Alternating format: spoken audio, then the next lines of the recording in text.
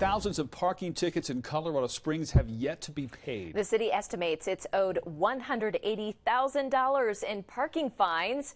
KRDO News Channel 13's Annabelle Childers is live in studio tonight to explain how the city is working to recoup those funds. Annabelle. Bart Heather, the city is now sending out delinquency notices to thousands of violators. The city tells me 15% of tickets issued last year are still outstanding. Every day, Nancy DeVorce walks around 12 miles. You're at an hour right now, is that good? Helping residents and writing citations. It will get a ticket. DeVorce is one of seven parking enforcers in downtown Colorado Springs who monitor the meters and write tickets. It, we're encouraging turnaround for the businesses.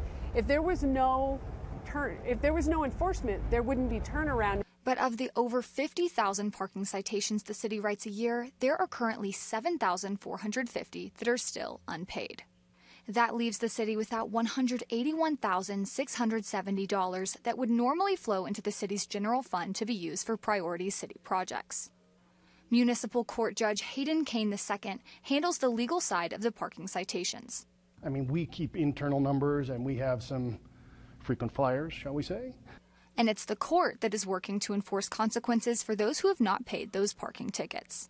What other people have to know is if they meet certain criteria and they have either enough tickets or enough money outstanding, they could make what's called the boot list. That means those violators may have to face towing expenses in addition to their overdue fees. And if you have an unpaid parking ticket in Colorado Springs, we have information on how you can pay that off right now at krdo.com. Live in studio, Annabelle Childers, KRDO, News Channel 13. Annabelle, thanks.